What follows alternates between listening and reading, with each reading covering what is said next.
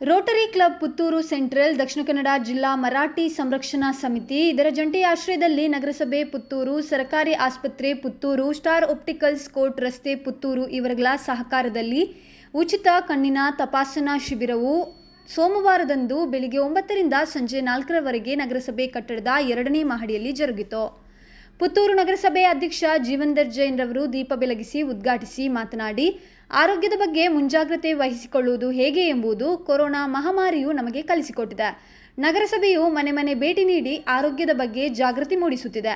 ಅದರಂತೆ ಸಂಘ ಸಂಸ್ಥೆಗಳು ಆರೋಗ್ಯದ ಬಗ್ಗೆ ಉಚಿತ ಶಿಬಿರಗಳನ್ನು ಹಮ್ಮಿಕೊಂಡು ಸಹಕಾರ ನೀಡುತ್ತಿದೆ.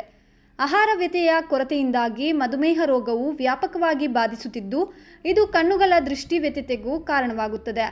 ಪ್ರತಿಯೋರ್ವರು ಅವರವರ ಆರೋಗ್ಯದ ಬಗ್ಗೆ ಕಾಳಜಿ ವಹಿಸಿಕೊಳ್ಳುವುದು ಸೂಕ್ತವಾಗಿದೆ ಎಂದರು.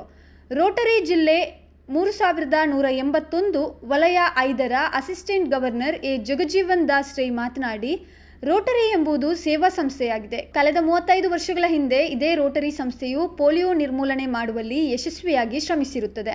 ಅಲ್ಲದೆ, ಮನುಷ್ಯನ ಆರೋಗ್ಯ ಕಾಪಾಡಿಕೊಳ್ಳುವ ನಿಟ್ಟಿನಲ್ಲಿ ರೋಟರಿ ಸಂಸ್ಥೆಯು ಶಿಬಿರಗಳನ್ನು ಹಮ್ಮಿಕೊಂಡು ಸೇವಾ ಕಾರ್ಯಗಳನ್ನು ಮಾಡುತ್ತಿದೆ. ಫಲಾನುಭವಿಗಳು ಇದರ ಸಂಪೂರ್ಣ ಪ್ರಯೋಜನವನ್ನು ಪಡೆದುಕೊಳ್ಳಬೇಕು ಎಂದರು. ಇನ್ನು ನಗರಸಭಾ ಪೌರಾಯುಕ್ತ ಮಧು ಎಸ್ ಮನೋಹರ್ ಮಾತನಾಡಿ, ಆರೋಗ್ಯಕ್ಕೆ ಅಥವಾ ಇತರ ಸಾಮಾಜಿಕ ಚಟುವಟಿಕೆಗಳಿಗೆ ಸಂಬಂಧಿಸಿ ಪುತ್ತೂರು ನಗರ ವ್ಯಾಪ್ತಿಯೊಳಗೆ ರೋಟರಿ ಸಂಸ್ಥೆಯು ನಗರಸಭೆಯೊಂದಿಗೆ ನಿರಂತರ ಕೈಜೋಡಿಸುತ್ತಾ ಬಂದಿದ್ದು, ಉಪಯುಕ್ತ ವಾತಾವರಣ ನಿರ್ಮಾಣ ಮಾಡಿದೆ ಎಂದರು. ಇನ್ನು ಅಧ್ಯಕ್ಷತೆ ವಹಿಸಿದ ರೋಟರಿ ಸೆಂಟ್ರಲ್ ಅಧ್ಯಕ್ಷ ಮೊಹಮ್ಮದ್ ರಫೀಕ್ ದರ್ಬೆ ಸ್ವಾಗತಿಸಿ ಮಾತನಾಡಿ ರೋಟರಿ ಸೆಂಟ್ರಲ್ ಫಲಾನುಭವಿಗಳಿಗೆ ವೀಲ್ ಚೇರ್ ಕಣ್ಣಿನ ಶಿಬಿರಗಳನ್ನು ಹಮ್ಮಿಕೊಂಡು ಬಂದಿರುತ್ತದೆ.